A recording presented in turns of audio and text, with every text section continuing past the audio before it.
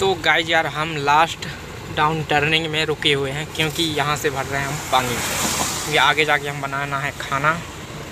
देख सकते हैं। पानी पीना है तो ऐसी जगह पियो यार, पहाड़ी वाला पानी, एक नंबर शुद्ध पानी। ये मानो कि हमें स्वयं भोलेनाथ छान के दे रहा है पानी। पहाड़ से मस्त छान के आ रहा है पानी, किसी ने पाइप डाल दिया उसमें। मस्त, एक नंबर शुद्ध पानी आता है। तो चलो, वो आ जाए, फिर चलते हैं इधर से।